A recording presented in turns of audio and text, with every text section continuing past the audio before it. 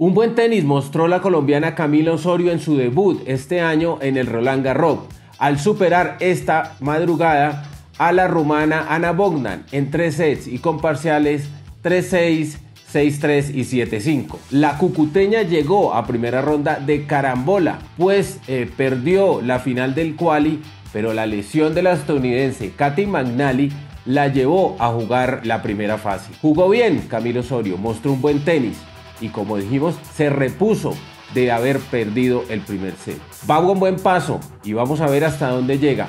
Pero por lo que se vio en este partido, Osorio tiene para llegar lejos en este certamen.